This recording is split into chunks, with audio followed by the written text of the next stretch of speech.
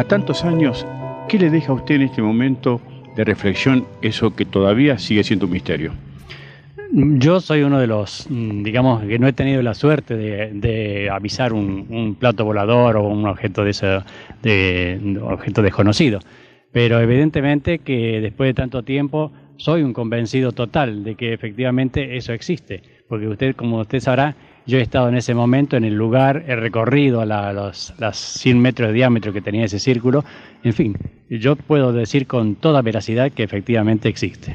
Diego, usted fue una de las primeras personas que accedió a esa huella junto a prensa de todo el país. ¿Qué recuerda como un hecho curioso? Por ejemplo, alguna vez usted me comentó la particularidad de la ceniza y la particularidad de la forma de que se habían quemado esa hierba. Sí, efectivamente. Usted sabe que llegamos al lomo de burro, Usted no estuvo conmigo en ese instante porque el burro no le permitía. ¿Mm?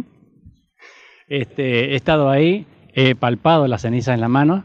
Es una, una cosa, digamos, como si fuera ligeramente grasosa, pero sin dejar ningún tipo de impregnación en la mano, totalmente. Entonces limpiaba las manos y como si no hubiera tocado nada. Yo recuerdo que esa fue una de las cosas que más le llamó la atención a usted, ¿no?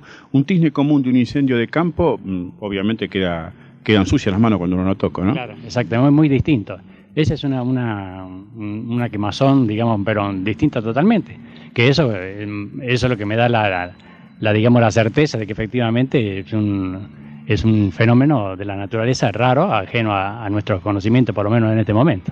Diego, junto con los periodistas también usted pudo advertir que esa irradiación de calor que plasmó esa huella vino desde arriba hacia abajo, tanto que eh, la paja brava, eh, la vegetación que rodeaba en aquel entonces, y recordemos que era enero, ¿no? pleno verano en esta región, eh, estaba quemada, la cara interna de esa vegetación que daba hacia la huella estaba quemada y la parte externa no, o sea que ese fue uno de los indicadores como que ahí se plasmó una fuerte fuente de calor pero sin llama.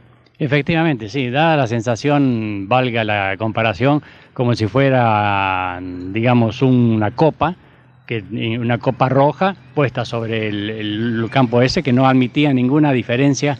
Era, digamos, totalmente redonda, o no redonda, pero sin ninguna, ninguna rastros de que ha sido una quemazón desprofeso ni nada. Eso fue otra de las cosas que eh, acusaron en su administración en su momento como que hubiera sido un recurso turístico. Eh, después de cinco años yo creo que se dieron otros hechos como para haber descartado. Usted nunca tuvo esa intención de hacer eso. No, de ninguna manera. Usted sabe, Jorge, que usted eh, ha sido uno de los que ha estado en mi administración, por lo menos en la casi totalidad de mi periodo, y sabe perfectamente que nosotros no nos prestaríamos jamás a una cosa que no tuviera visos de seriedad. Está claro. Luego también usted participó y tuvo mm, la, necesidad como funcionario de este pueblo de requerir eh, ayuda para la pérdida de aquellos cuatro chicos que se extraviaron en el Cerro Litorco en el mes de junio de ese mismo año, 1986, y tuvo también la oportunidad de dialogar y de ver a esos chicos que habían pasado una experiencia bastante curiosa. ¿no?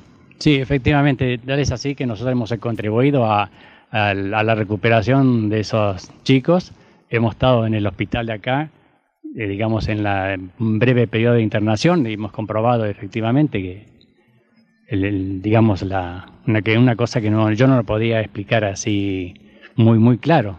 Máxime la, la, presencia y la conformación física de Gabriela, que fue una de, los que se perdió, entre comillas, digamos, una chica de cuerpo muy menudo, eh, debemos aclarar que tuvieron esos siete días descalzos, con muy pocas probabilidades de encontrar agua en la montaña por ser la época en que era, pero estuvieron siete días con un tiempo muy feo, ¿no? Así es, efectivamente. En fin, eh, yo creo que una cosa normal, siete días no sé si podrían haber podido subsistir. Eso me inclina más a creer todavía en toda esta conjunción de cosas que se dieron más o menos en una época cercana. Quizás puedan haber tenido algún tipo de ayuda que nosotros desconocemos. Yo creo que sí. Diego, de futuro, eh, ¿usted está de acuerdo con, esta mm, filosofía que ha implementado la gente que está actualmente en la municipalidad en cómo ha desarrollado esta historia de los ovnis en Capilla del Monte? Honestamente, no creo que sea el, procedimiento correcto o honesto. Más bien es eh, especulando con una cosa que no han, dista mucho de ser seria en la forma que ha sido encarada. ¿Usted cree que este tema merece profundizarlo? De una forma más sensata y con gente realmente calificada en la investigación. Sí, por supuesto, ninguna duda. Aquí hay que darle realmente la, veracidad que puede tener este, este acontecimiento y todos los que han sucedido acá cerca del Cerro Uritorco. A través de su experiencia y a través de la reflexión de estos cinco años, ¿se puede declarar, se puede percibir de que esta realidad de la presencia ovni en Capilla del Monte no está agotada? No, por supuesto que no. Eh, yo eh, estoy convencido de que en cualquier momento podemos tener algún otro avistamiento, alguna cosa que nos indique la presencia de estos seres. Don Diego Cés, muchas gracias eh, por esta entrevista y lo que quisimos lograr es a través de su personalidad, que manejó este tema con sensatez y con respeto, darle cuenta a quienes puedan ver este documental de que lo de Capilla del Monte es mucho más que una fantasía. Yo creo que es así y muchas gracias a ustedes por haberme tenido en cuenta para, digamos, aportar el conocimiento con respecto a este tema. Don Diego Cés, uno de los testigos más importantes que tuvo la casuística ovni de Capilla del Monte. Vuelvo a reiterar, para recordarlo, dentro de la casuística de la investigación está calificada la declaración oficial de don Diego Cés como la tercera en Argentina de lo que se considera dentro de esa investigación testigos calificados.